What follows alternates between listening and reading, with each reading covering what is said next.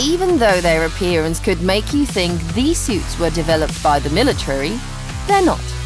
On the contrary, they are do-it-yourself at its finest. We are in New York and we'll be meeting this yellow fellow in the streets of Brooklyn. I am Brooklyn Bumblebee. He's the world's coolest transformer from the Michael Bay films.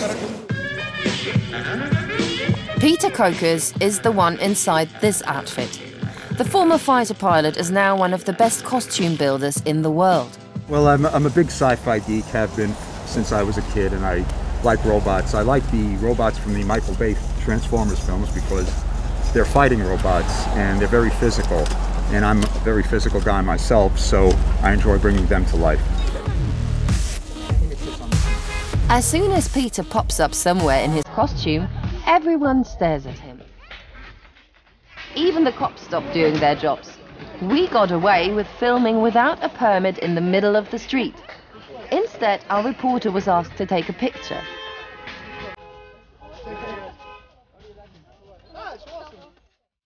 Peter's life is all about Transformer costumes nowadays. But that wasn't always the case. The 53-year-old has seen quite a bit in his life.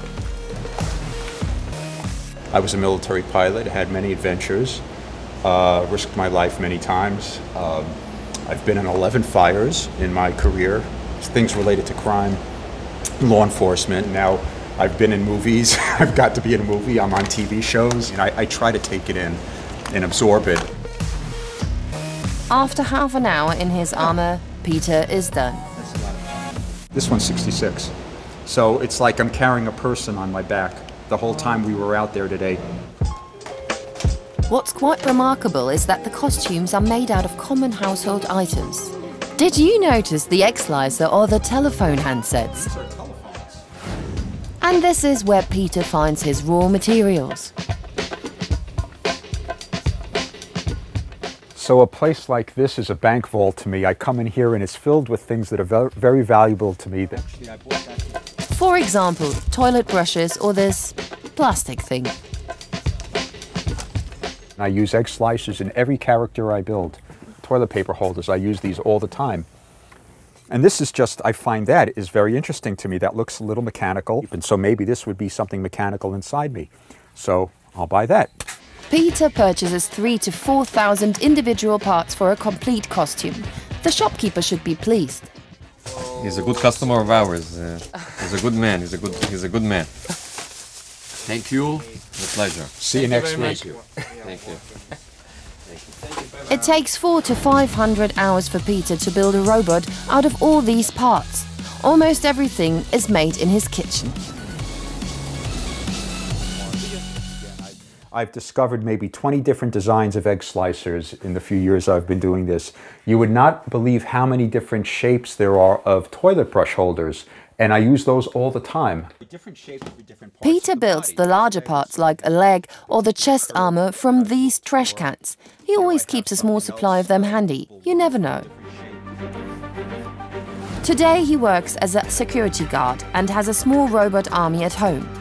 He's currently working on his 15th combat suit. Peter makes special appearances at weddings or film premieres. His goal is to live off his art.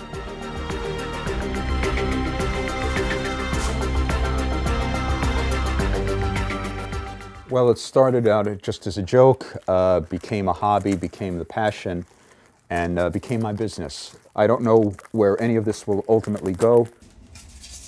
This is uh, the left arm off my Brooklyn Terminator robot as an example, but aside from the artistic issue, there's the engineering issue that all the parts have to fit.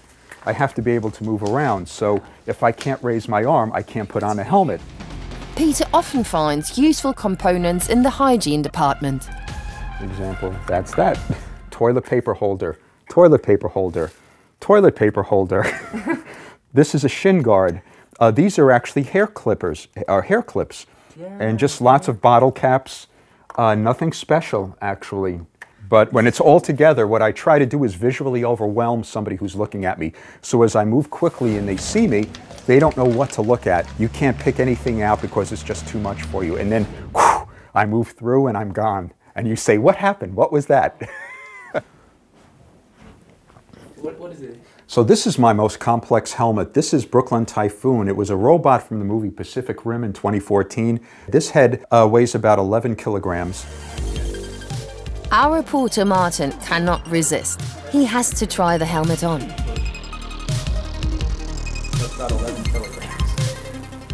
It'll give you a sore neck if you're not in shape, and your vision is pretty restricted. Also ich sehe jetzt hier gerade mal so ein I can only see through here. I can't see anything on this side, I can't see my hand anymore, or this one either. Wow, respect. And now we can also appreciate Peter's creative eye. We notice salad spoons, hair machine attachments, and even flashlights. Also ich darf I can try more helmets on. He has two big ones for me. Jetzt zwei Kanonen für mich. Uh, I have one character, a transformer known as Ironhide. So he's all about his guns. He's basically a walking weapon system. Give you an idea of what it feels like. The outfit fits our reporter perfectly. A forearm weighs a bit more than 20 kilograms.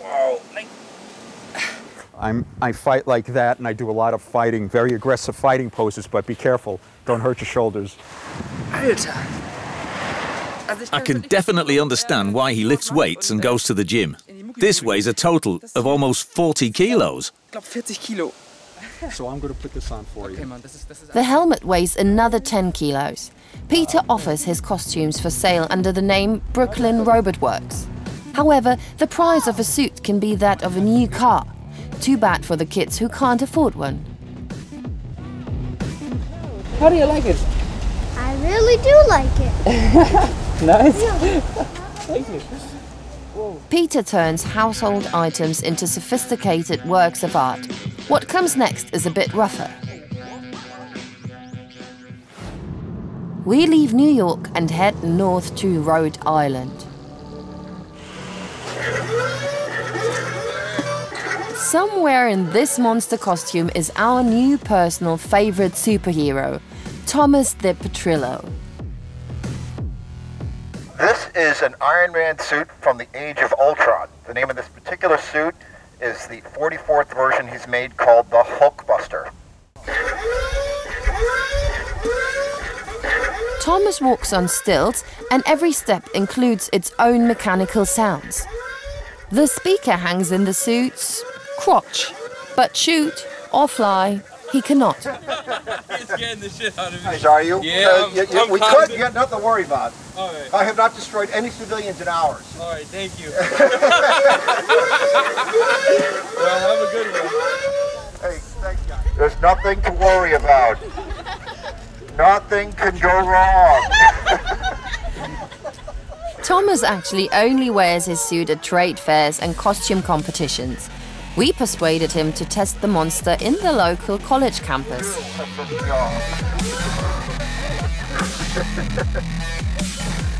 The armor is almost 3 meters tall, weighs 50 kilograms, and has an arm span of 4 meters.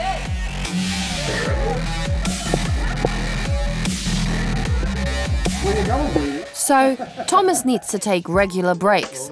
And since it's hard for him to get out of armor on his own, his assistants are always there.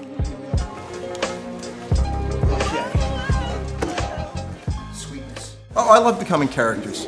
And, you know, since I'm not very pretty, I like to make pretty things and then people see that. This is where Thomas lives. The hobbyist has built countless giant costumes in his basement. He is what's known as a cosplayer. What I enjoy most about costuming is that it gives me a chance to show off my creative side.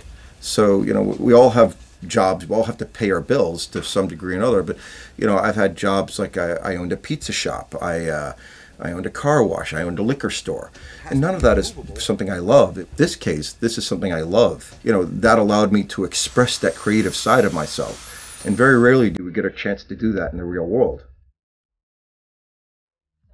The suit has an aluminum frame inside. It's enlarged, which creates the powerful impression it has.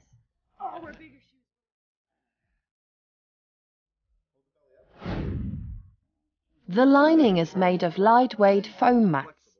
Thomas cut, sanded, and painted each part himself. Every part that is meant to carry weight is made of high strength polycarbonate. And Thomas would get into trouble without his beloved hot glue.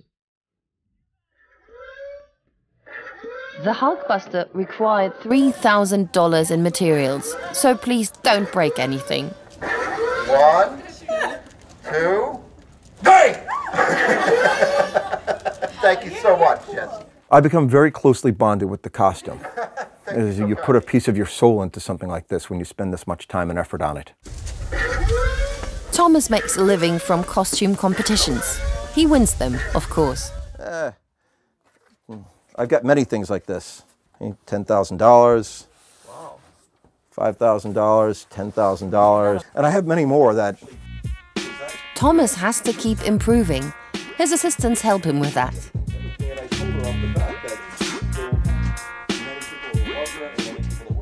he knows what he's good at, and he takes a lot of pride in that. Um, sometimes it comes off a little bit, you know, harsh to people, but you know, once you get to know him, he's a pretty good guy. These are legs of an older robot costume. Our reporter Martin wants to try them on. Inside the legs, there are 50 centimeter high stilts. They are the secret behind, or better, in Thomas's costumes. This is the only way his robots can reach the 3 meter mark in height.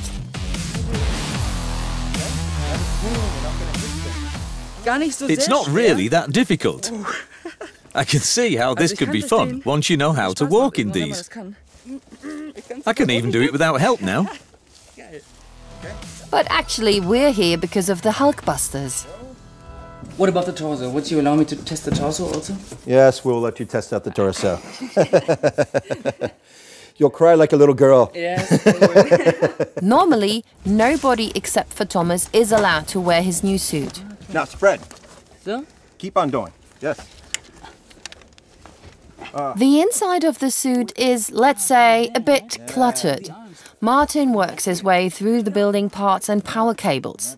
The Hulkbuster is equipped with a full LED light system. We can go to here and here. The lights, yeah. Some additional lighting. okay. Also ich bin jetzt drin. So I'm in now, and it's insanely heavy. I can only move my arms like this. Hello? Wow, it's heavy.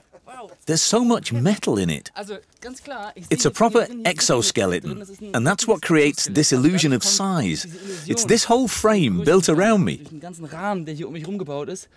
Can I walk a bit? Pass. Be careful, there's a step. The step. You crush that, I crush you. Yes, okay. Das An absolutely awesome feeling. You do feel a bit bigger, I'd say. würde ich sagen. Down. Martin isn't allowed to wear the bottom half of the suit. It's too risky. The arms are heavy. You're a wussy.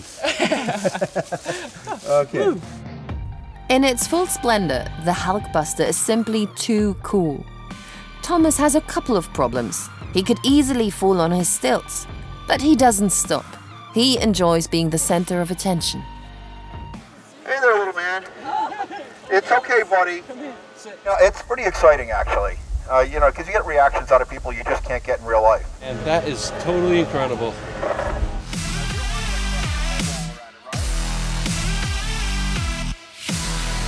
Thomas showed us that nothing is impossible. Certainly, a three meter robot costume on stilts isn't.